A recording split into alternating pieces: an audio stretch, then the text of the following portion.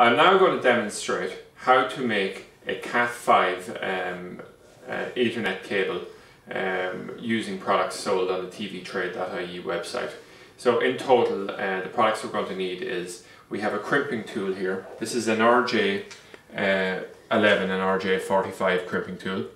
Um, we um, have uh, RJ45 uh, jacks here and we also have a, um, a box which is 305 meters uh, of Cat5 uh, cable okay? The only other tool we're going to need here is a um, sharp pair of snips and um, uh, one thing that we find on the tvtrade.ie website I've actually printed off here is a wiring diagram uh, for, for Cat5 cable. Now there's two standards. You have uh, 568A and 568B but um, it's 568 uh, B that uh, used widely within the industry and that's what we're going to demonstrate here okay so um, I also just off camera here I also have um, a laptop connection here which is actually giving me a color coded um, this, this map is of limited use to me when it's in black and white but we have it in front of us here uh, color coded as well which is quite convenient we can just access it uh, directly off the tvtrade.ie website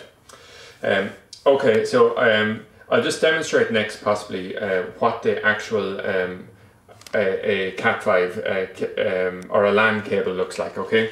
So what we have here is uh, we have a um, we have eight pins in total uh, being used here, okay? And they're in the color code um, that we're giving, uh, which is basically uh, orange, uh, white, orange, green, white, blue, blue, white, uh, green, brown, white, and brown. Okay, so um, what I'm going to do here is I'm just going to demonstrate how we do this. Okay, so um, the the first thing I'll do is with this particular um, uh, thing is I have a, a length of a Cat5 cable here in front of me. Okay, so we can use the crimping tool here to cut this. Uh, by using this uh, connection here. So what I'll do is I just put this uh, crimping tool in here and I click it into position there. So as you can see here on this crimping tool, there's two settings for the blade cutting. There's a gap left here, and the reason there's gap left there, if we want to cut the outer cable but not cut the inner cable, and then the second one here is an actual guillotine where it actually touches, and the purpose here is to actually cut the cable straight through. Okay, so what I'm going to do next is I, am going to come along and I'm going to slide this cable through. Now there's a stop on the far side of this cable, but we actually want to go as far as that stop and a good bit further on the far side. So we're looking at the back here we actually have a cable sticking through a considerable distance and then we just close in this here and then we just pull it forward like this and what we're able to do is we're able to actually pull um, off the cable the outer cable without damaging any of the inner cables okay? So the first thing I normally do here is we'll see to the side here we have a piece of um, sort of string nylon here that runs with the cable and we cut that off initially.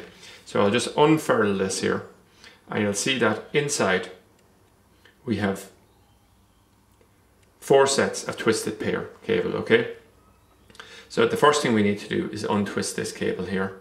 So this is quite difficult to show you while not blocking your view okay but basically we want to start off with the orange here okay um, orange white first and then orange then we move on to green so we'll have the green white next but strangely, in terms of color coding, um, we deviate then and we actually need to put in the blues directly after the green white, okay? So I'm just going to work through here. So we have this thing here. We have the first three cables that we want lined up here.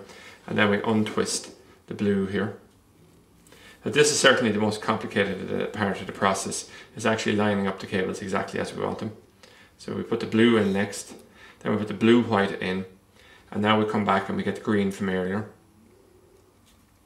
Okay, so we're lining quite nicely here. Um,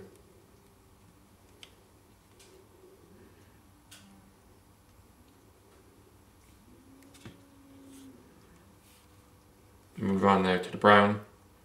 So it's brown, white, and then it's blue, or brown at the very end. So we have the ones that we wanted.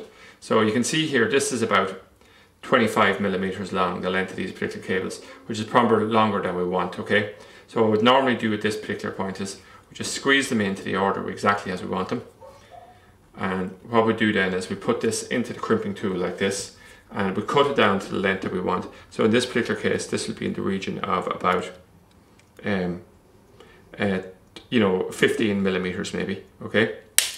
So we've cut right through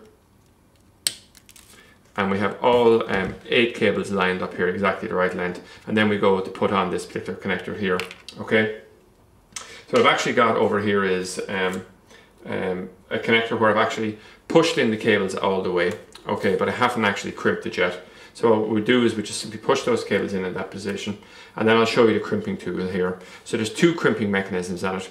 This here, the smaller one is for RJ11s, but in this particular case we want to use the uh, RJ45s. So we simply push the, press this slightly and push this right into the crimping tool. And at that particular point in time, we simply use our mechanism here, crimp this into position like this, okay? And then we just push the bottom mechanism here and we just pull out the crimp itself. Now sometimes there's a cover you can actually slide over here. It's not absolutely essential for the thing, but we can see we have we've managed to achieve the color code exactly um, as set out in the wiring diagram which I've printed off here. And what we'll do then is we'll simply move on and we'll repeat the same process on the end. Now it, it is of course possible to buy Cat5 cables made up, but the advantage of doing it this way is twofold. Number one, it's obviously much cheaper, and number two, it's much more flexible. Um, uh, and it's flexible in two ways. First of all, you can get the cable to exactly the length that you want.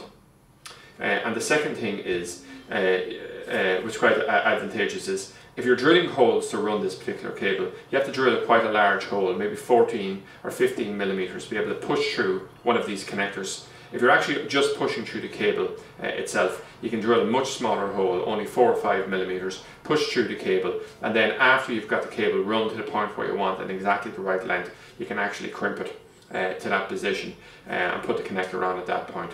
Um, so that's it uh, beginning to end, uh, an overview of how to make um, a Cat5 cable uh, with RJ45 connectors on both ends.